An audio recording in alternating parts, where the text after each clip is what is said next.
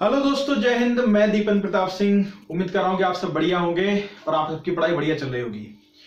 तो बच्चों, आज मैं आपके सामने लेकर के आया हूँ एक नंबर ऑफ़ फैक्टर्स का नंबर सिस्टम का, जो कि एक टॉपिक है। उसका एक बहुत अच्छा सवाल डिस्कस करेंगे।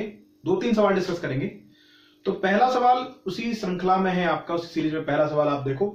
आपके सामने है, कह रहा a three digit number A B C has two factors where A B C are digits how many factors does the six digit number A B C abc है ऑप्शन आपके पास है 16 15 17 19 वीडियो को पॉज करो और इस सवाल को सॉल्व करने की कोशिश करो।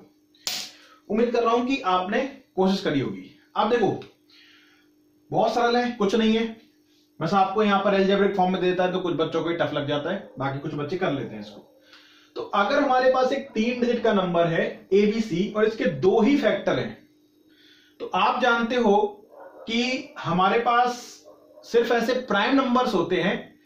प्राइम नंबर्स जो है, उनके हमारे पास सिर्फ़ दो ही फैक्टर होते हैं। दो के अलावा और कोई फैक्टर नहीं होता है।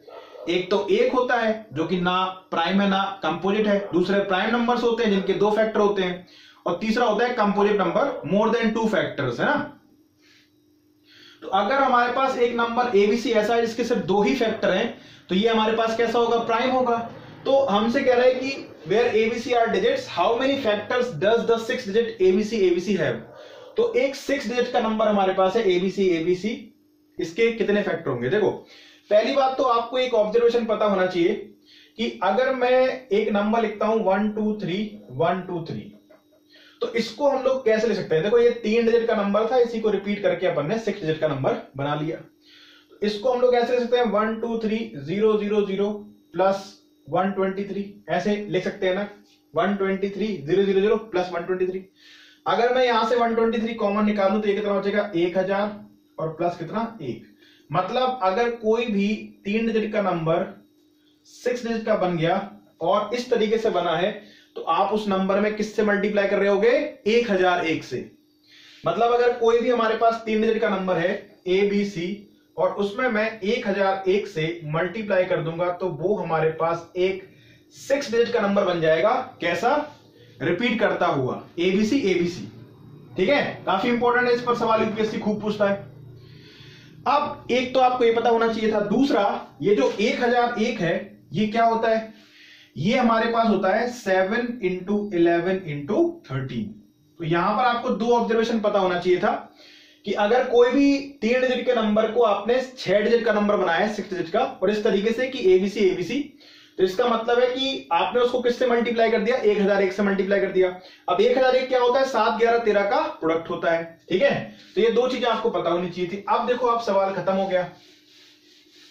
आपको एक बात पता है कि जो आपका सिक्स डिजिट नंबर है A B C A B C इसका मतलब ये कैसा लिखा गया होगा? एबीसी इंटू एक हज़ार एक। इसको आपने एक हज़ार एक से मल्टीप्लाई किया होगा।